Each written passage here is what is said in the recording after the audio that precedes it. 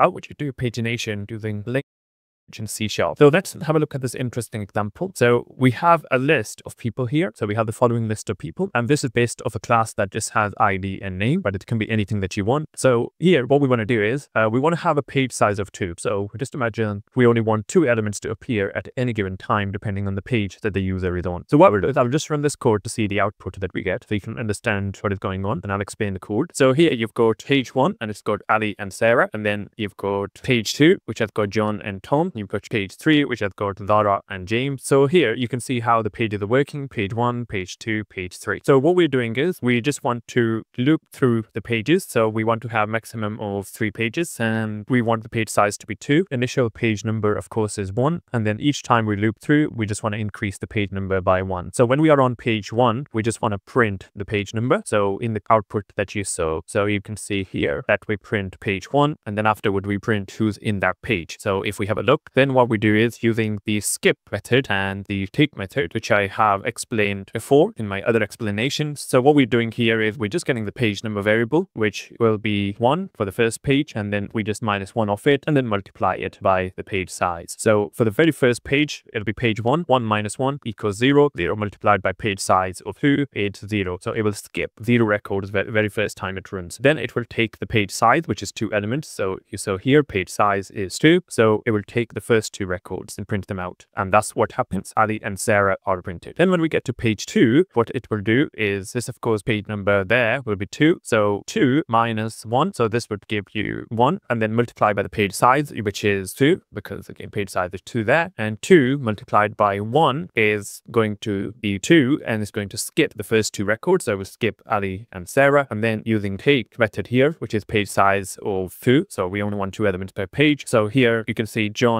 and Tom are printed. And finally, when we get to page three, we get Zara and James. This again is going through the same logic. Three minus one equals two, two times two, which is the page size again, which would be four. So it's going to skip the first four elements, one, two, three, four. And then it's going to take the page size again, which is two elements at a time. So it's going to print Zara and James. And what we do here is we just loop through and print the ID and the name from the P variable here, which is a temporary variable that actually then is the page data. So remember, the pagination is very good in LINQ because your actual code to pull this out won't run until the for each loop is run. So all these methods skip and take won't actually physically run until you actually execute the for each loop. And that's doing it two elements at a time for us and going through this loop. Check out my other explanation where I can show you how you can jump between different pages. So pagination is very easy to do using just two simple methods, skip and take using the LINQ query language in C Sharp.